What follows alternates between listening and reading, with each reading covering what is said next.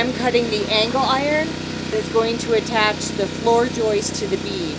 This chop saw is amazing. And yes, I know that usually you cut metal on the short end, but in this particular case with this type of chop saw, the manufacturer wants you to cut it like this. So I'm just doing it exactly like the manufacturer says. I realize that's very counterintuitive. Mike and I actually had an argument about it. I made him go look on their website and watch their video. And yep, you're supposed to cut it this way. My name is Ali, and if you haven't seen us before, we're building an arched cabin. It's a kit house made out of steel. If you're new here, consider subscribing. Don't forget to hit that thumbs up button. Okay, I've cut 90 of these brackets. These are going to attach our floor joist to the beams.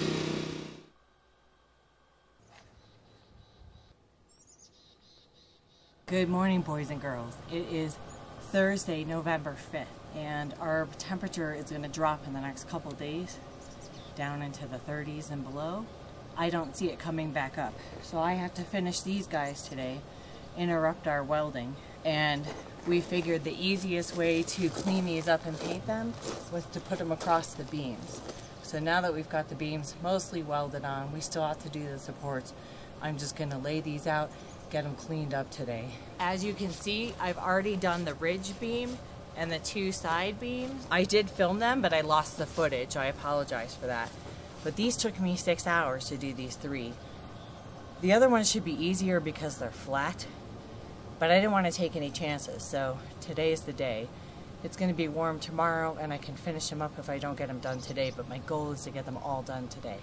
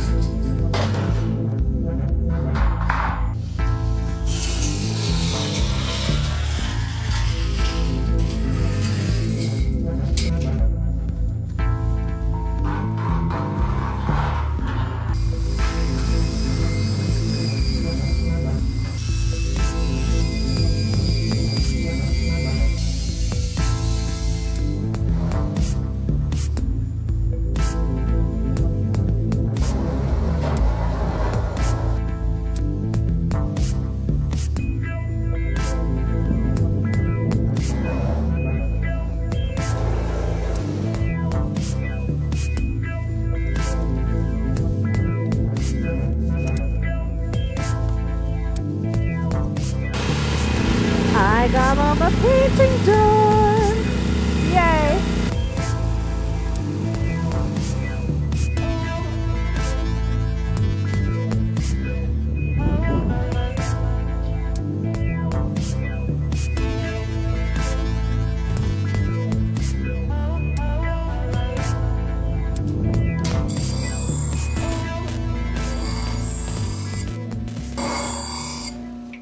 one side gets welded to the beam.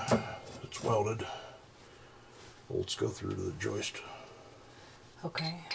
So I did a quick little cleanup of the brackets on the grinder and then I had to drill two holes in one side of each bracket as one side would be welded to the beams and the other side would be lag bolted to the floor joist.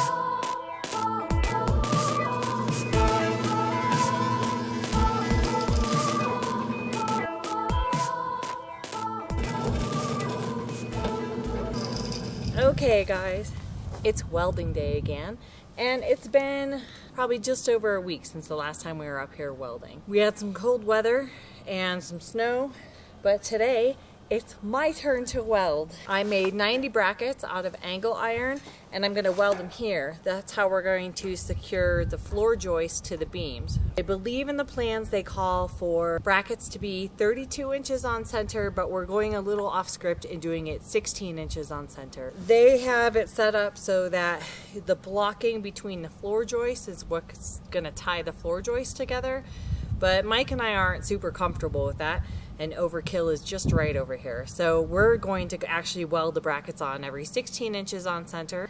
Mike did all the structural stuff. I actually haven't welded in a couple months, so we're gonna start off. I'm gonna grab the scrap pieces from welding these on, and I'm gonna practice on that, because I've also never welded with flux core wire. After we get the floor joists up, we have to get that inspected, and then we can put on our subfloor. On top of the subfloor goes the house. We are four steps away from getting this house kit up.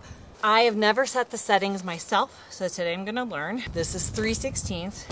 I know I'm using 030 wire. Steel with flux core. I'm using 230 volts, 030 wire, and I know you can't see this chart. My metal thickness is 3 16ths, so 5 and 45 are my settings to start out with. 45 would be my wire speed here, so my voltage would be up to 5 I'm going to try that on this. I may end up moving my settings around to pay, based on how I like it.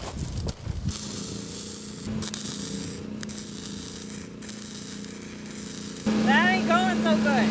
Turn down the four. I think my wire speed might be a little fast too. Okay. That looks terrible, guys. Not super confident.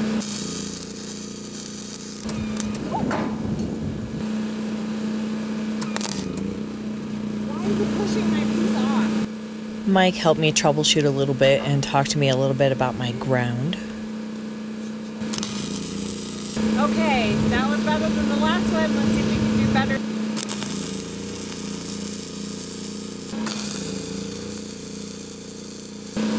I'm going to try an upright.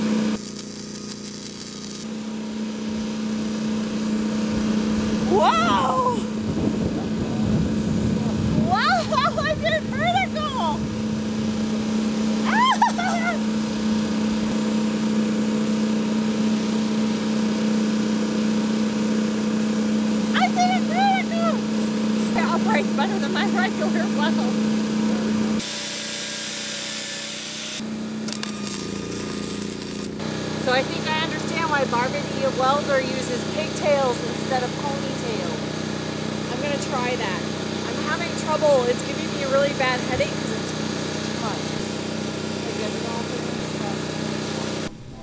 We did a test fit for the floor joist just to see where the bracket should end up and then Mike went around and marked all that for me.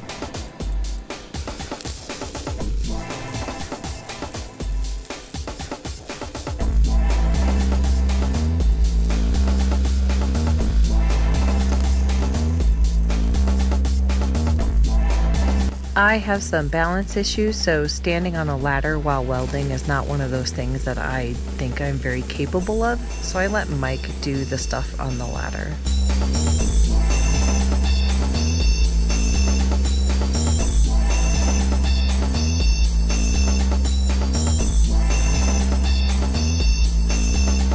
And now, my welding montage.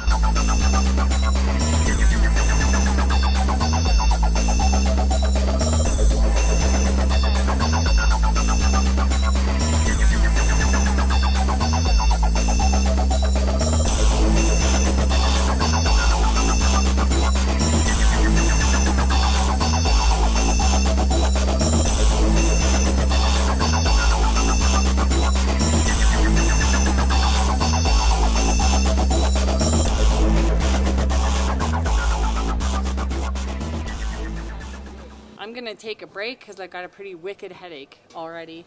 So, and I've only welded three things. Get kind of head in the game because I have like zero confidence on this today.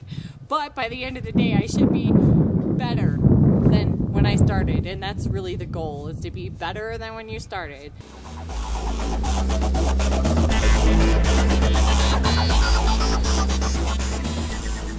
We're losing light, so we're gonna call it a day and I'll come down in the morning and do it. It is day two for me to weld these brackets on, so I better get welding. One thing I do know is that I have contrast issues while welding. If something is not lit well or if I'm backlit, I can't see what I'm doing.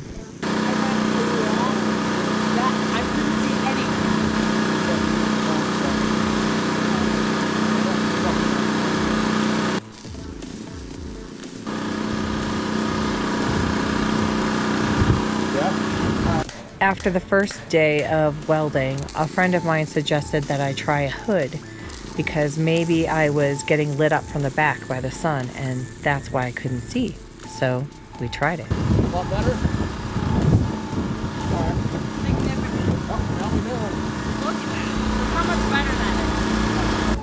It worked so well that I gave him my welding jacket, which had gotten thoroughly thrashed during the previous bit of welding, and we cut the sleeve off and use that as a little hood.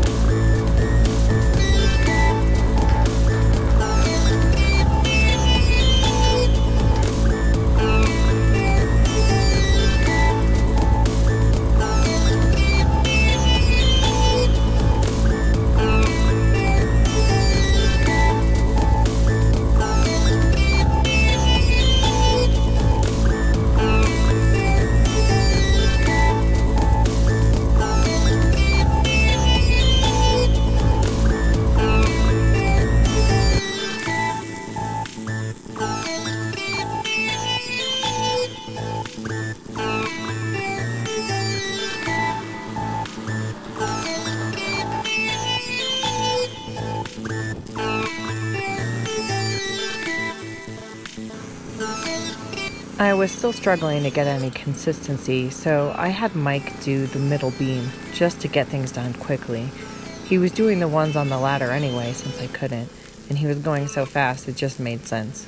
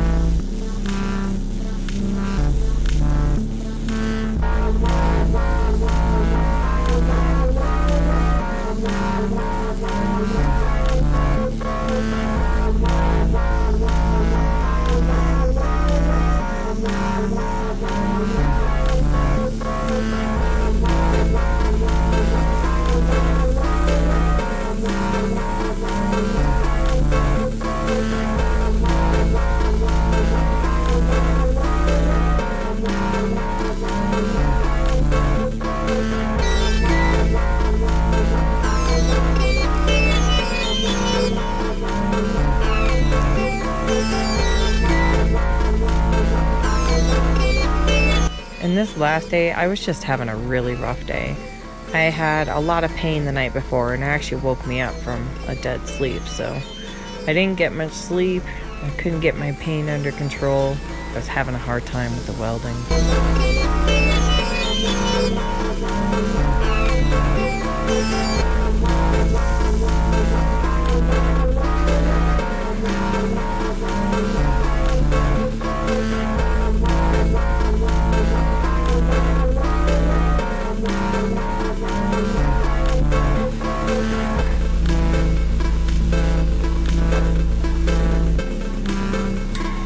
I even managed to burn the crap out of my hand just taking my glove off.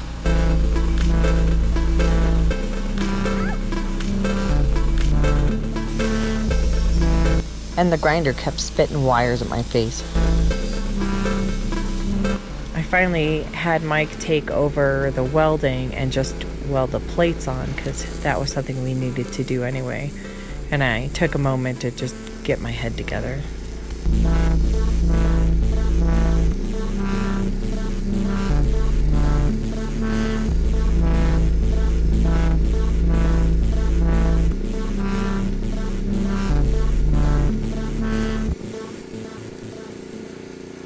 I made sure to take some time to really watch what he was doing so I could see if I could figure out what I was doing wrong.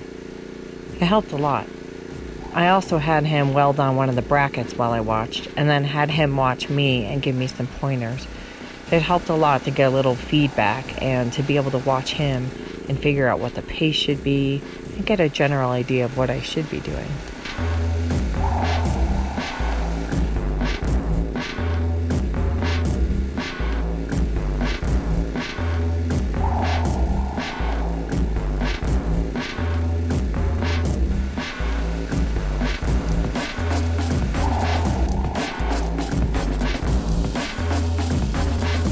We finish off the day with Mike welding the last of the plates onto the beams, but we got sidetracked from showing off our final product due to a fire in the neighborhood.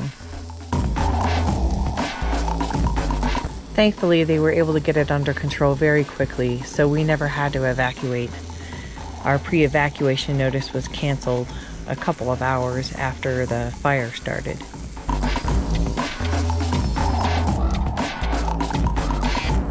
It was still too close for comfort.